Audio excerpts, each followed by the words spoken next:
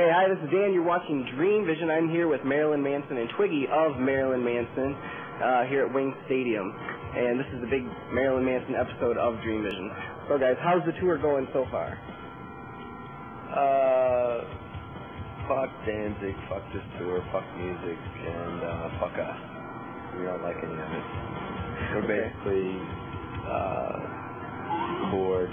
We're trying to uh, spice things up a little bit, and uh, we feel kind of bad that our fans have to pay an extra twenty-five dollars to see us play, but uh, I guess it's the tour's been okay for worth. Now, the crowd is an awful different crowd than the Nine Inch Nails crowd. Which crowd is accepting you better? Um, our crowd. Because when you were headlining? Well, our crowd that comes to these shows and our crowd that uh, was at the our own shows. Uh, yeah, uh, I don't know. I don't know what if there is any other crowd at these shows. There's a few inbred people that come out that uh, will uh, chant Danzig, but other than that.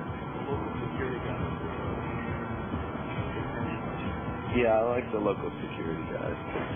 They all want to kick my ass every night for um, spitting on them.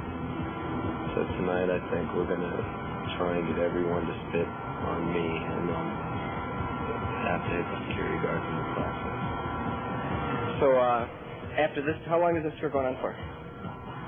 Um, maybe till tonight if we get kicked off. We keep trying every night, but it hasn't worked yet. Uh, it's scheduled until the 14th of May or something. And then after that, big another big tour? Um, Europe and another summer tour. We're not sure when yet. With you guys headlining? We'll probably do another headlining tour, but we'll probably also do something else. Any talk of Lollapalooza or no way? Hope, I hope Well, not. Initially, we we didn't we didn't wouldn't consider Lollapalooza because we didn't want to like what it was about. But we figured if anybody were to change what it would be about, we should do it. If we do do Lollapalooza, we'll make sure that we piss everyone off, burn the stage down, kill a lot of chickens, and offend uh, women and and uh, minorities and and ourselves along the way. Great, great. Okay, I hear you guys have a new drummer. Yeah, Ginger Fish. What happened to Sara Lee Lucas? Um, on the last night of our club tour, I set his drum set on fire and smashed him and, and it, and he he was irreparable. So we had to find someone else. How's uh, Ginger Fish working out? Good, Good. real good. Cool. Um, okay, I have a question for the boy that's in the Lunchbox video.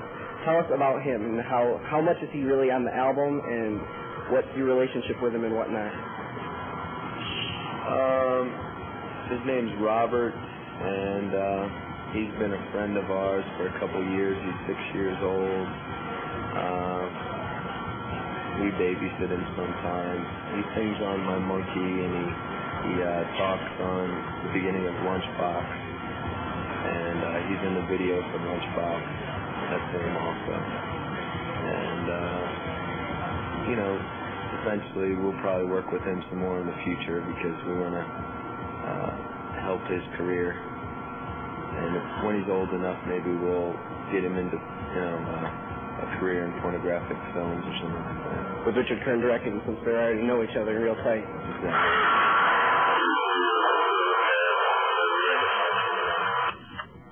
Okay, down in the park. Um, has John Carpenter said anything about the Prince of Darkness stuff? Uh, what Prince of Darkness stuff? What Prince of Darkness stuff? Okay. No, he hasn't. You haven't got any feedback from John Carpenter at all. Or? No. Uh, How about Gary Numan? well, he gets royalties for for covering. Have, have, have you heard good, bad from him otherwise? We haven't heard from him. I know he's making a new record though. Um, we, we've always liked that song. It was originally